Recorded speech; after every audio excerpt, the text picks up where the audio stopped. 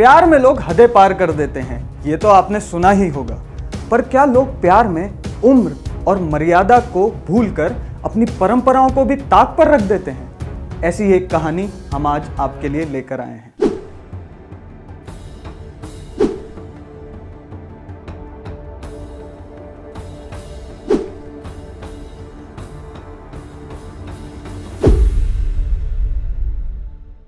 अस्सी साल के बुज़ुर्ग ने शादी कर ली और इस शादी ने सभी को हैरान कर दिया। लेकिन चौंकाने वाली बात है उसकी दुल्हन। आखिर दुल्हन का क्या है राज? आपको बताएँगे हम आज। मैं हूँ सार्थक नायक और आप देख रहे हैं खबर विभाग। आगर मालवा ज़िले के करीब 100 घरों के एक छोटे से गाँव मगरिया से बुज़ुर्ग बालूराम करीब दो वर्ष पहले काफ़ी डिप्रेशन में आ गए थे।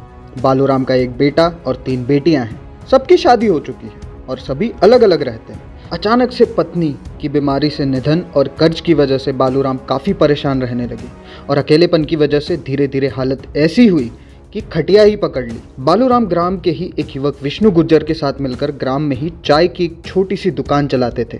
उनकी हालत देखकर विष्णु उन्हें अपनी होटल पर ले आया और उनका मज़ाक मज़ाक में ही एक रील बना ली। हँसी मज़ाक की रील्स ग्राम में चर्चित हो गई तो युवक ने उनकी कुछ और रील्स बना दी। रील्स धीरे धीरे इतनी वायरल हुई कि ग्राम के हर कोई व्यक्ति उनसे हँसी मज़ाक करने लगा। यहाँ तक कि आसपास के क्षेत्र में भी वह बालू बा के नाम से प्रसिद्ध होने लगे। इस पूरे वाक्य से वो डिप्रेशन से बाहर होकर खुश मिजाज ज़िंदगी बिताने लगे और विष्णु और बालूराम दोनों सोशल मीडिया पर इतने सक्रिय हुए कि उनके हज़ारों फॉलोअर्स बन गए। इन सब में खास बात यह है कि बालूराम को एंड्रॉयड मोबाइल ही चलाना नहीं आता। इन सब में उनसे आदि उम्र का उनका दोस्त विष्णु गुर्जर ही उनकी मदद करता था। विष्णु ही उनके साथ वीडियो बनाकर सोशल मीडिया पर पोस्ट करता है। पत्नी के गुजर जाने के बाद बालूराम सोशल मीडिया पर ज़्यादातर समय बिताना शुरू कर दिए। इसी दौरान सोशल मीडिया पर उनकी मुलाकात उनसे आधी उम्र की महाराष्ट्र के अमरावती में रहने वाली शीला इंगले से हुई। दोनों में बातें होने लगी। बातों के दौरान बालूराम अपने दोस्त विष्णु को बताते और विष्णु वही बात लिखता जाता। बातों ही बातों में शीला और बालूराम दोनों के विचारों के साथ साथ मन भी मिलने लगा और दोनों की बातें अनूठी लव स्टोरी में तब्दील हो गई। प्यार का परवान कुछ इस कदर चढ़ा कि महाराष्ट्र से करीब 600 किलोमीटर दूर चलकर शीला बालूराम के पास पहुँच गई।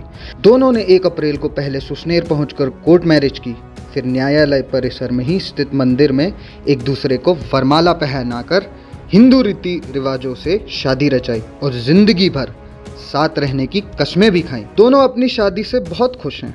साथ ही इन दोनों को मिलवाने वाले विष्णु गुर्जर भी इस प्रेम कहानी से बहुत खुश हैं।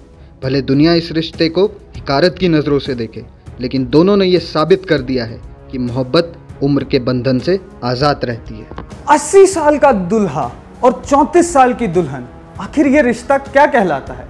क्या ये रिश्ता सार्थक हो पाएगा?